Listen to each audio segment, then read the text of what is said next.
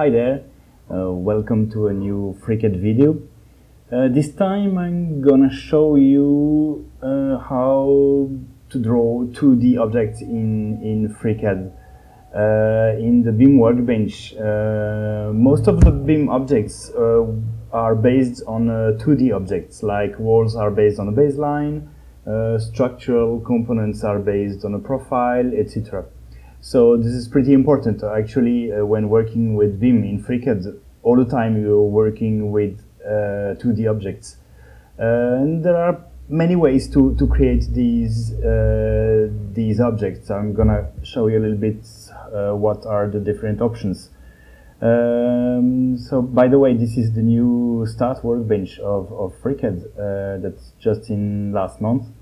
Um, and um, so let's create a new document. And um, as I showed you already in a previous video, if, for example, you pick the wall tool and you create a wall, uh, underneath that wall, you have a 2D object, which is this line. Same goes for many other, or most of these objects uh, here work the same way. For example, if I build a window, inside this window, there is a 2D object, which is the shape of the window. Uh, most of these BIM objects here uh, work, work the same way. Um, so uh, you can usually either use the creation the tool uh, as I showed you, or you can already you can uh, make the 2D object first and then use one of these tools to turn it into a BIM object. For example, I can draw a line like this and turn this line into a wall simply, simply by selecting it and pressing the wall tool. Uh, if you press this button or any of the others, when you have a 2D object uh, selected, uh, these 2D objects will be used to, to create the, the, the BIM object. Uh, so for example, if I draw a rectangle like this, and I select that rectangle, and then I press the structure button, this rectangle is used as the profile of the structured object. It's still there inside my structural object. Uh, same as the wall I created from the line. The line is here. If I turn it visible, I can select it, it's here. Um, so these 2D objects are actually everywhere in, in BIM. And uh, there are several ways to, to create them, uh, all of them pretty interesting and all of them depending on what you wish to achieve. So I'm gonna create a group and put all these objects inside this group turned it off. So everything off so they don't bother us. Um, so we have already we already have these draft tools here uh, in the BIM workbench that are actually from the draft workbench. Where is the draft workbench here?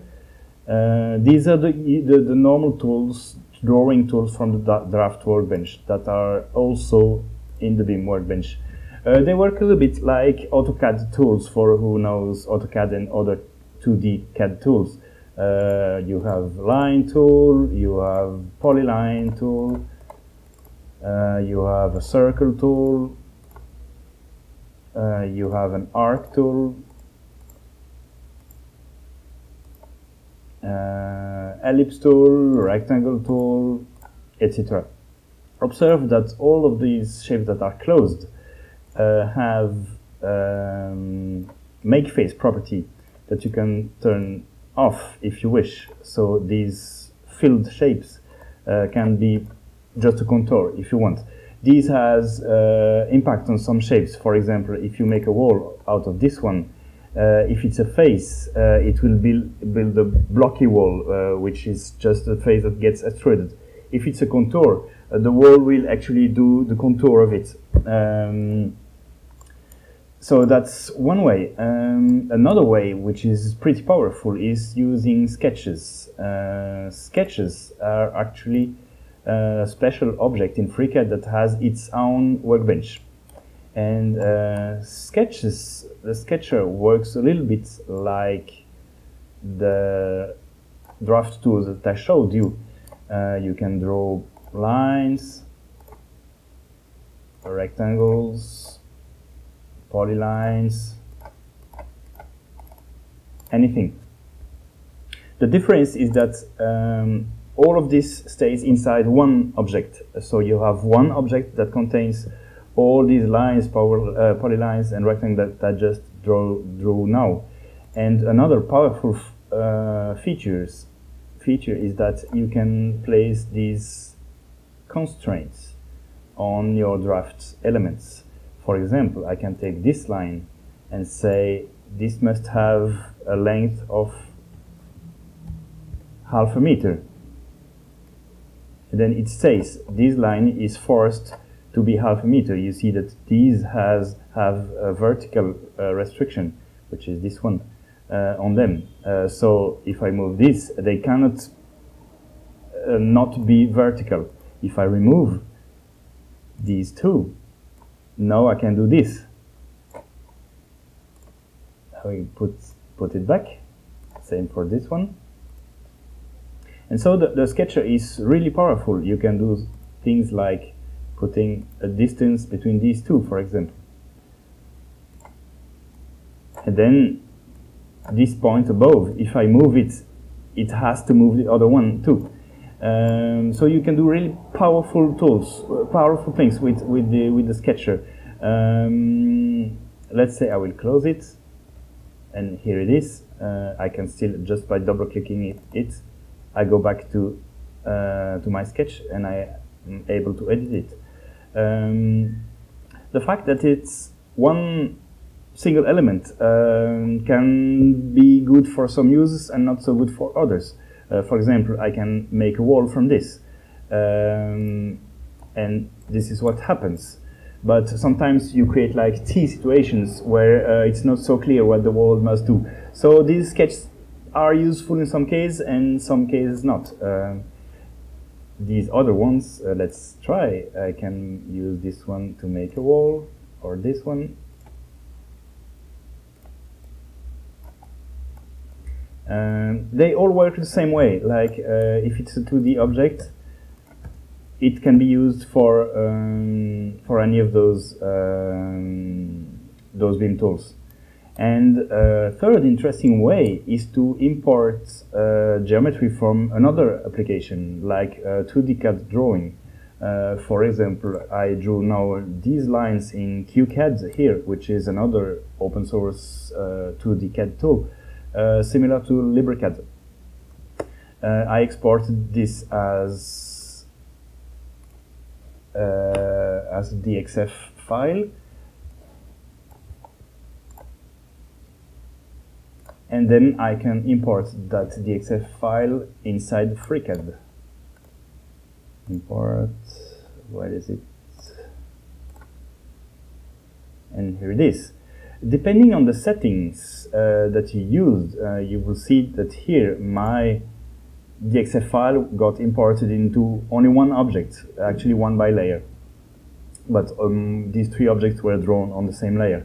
But depending on what you say in DXF preferences here, uh, you go to import export and DXF and you have several ways and uh, modes to import geometry from a DXF file.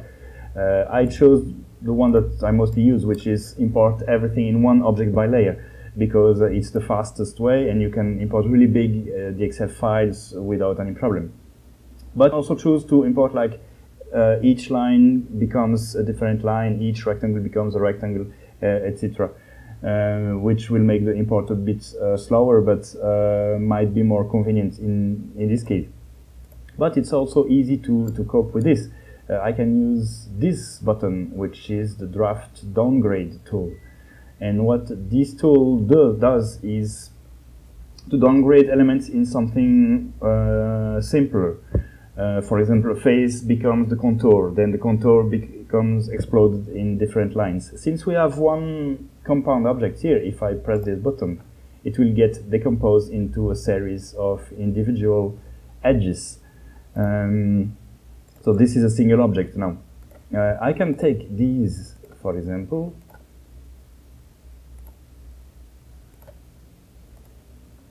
and rebuild a wire from them. Now this is one single object. I used this tool, which is the upgrade tool, which is the contrary of the downgrade tool.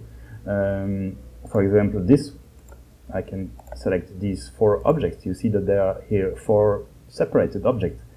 And by upgrading them, they've become one contour. If I do upgrade again, they have become one face. And if I do upgrade once more, now it's a draft wire, which is like uh, the most powerful one because it can be either a face or not if you if you change its make face uh, property here. And the draft wire is basically the top the top uh, the top object that you can that you can get. And so now you have one object here, one object here, and a third one here. And you can use this to make, for example, walls. Check that uh, if uh, this object is now a contour, I had its make face property to false. So if I build a wall, it becomes this. But if I take back my wire, which is here, it's still there inside the wall, and if I change its property to true, what happens is that, that it has become a face and the wall, um, depending on the object it's based on, behave differently. If it's based on a line, it will like create a thickness and extrude vertically. If it's based on face, it will just extrude vertically. We consider that if you have a face, uh, you already have the thickness, like it would be like the, the footprint of a wall, for example. Um, so basically, that's it. That are the most useful ways to, to create 2D geometry in, in FreeCAD. Um, it really depends on, on what works best for, for a specific case. In some cases, it's easier to use these tools because they are really simple. Um, and also because they're easily editable, like you know, the, the draft rectangle here, for example, has its height and length properties built in. So you can change this easily. Um, if you make a, a sketch and um, you can draw exactly the same rectangle in the sketcher and also put 8 meters length and let's say 2 meters height and I have the same rectangle in uh, the, the, it's two two uh, dimensions here as well. Um, but it's a little bit more uh, lengthy operation, but um, you have more possibilities inside inside the sketch. It really depends on on what you need, and um, in many cases, um, people are, are more used to, to work with with with another with the two D 2D tool. So this goes faster in that case. It would be faster for you to draw your 2D geometry in another program and import it in FreeCAD through through the, DXF format. It really depends on on, on the circumstances.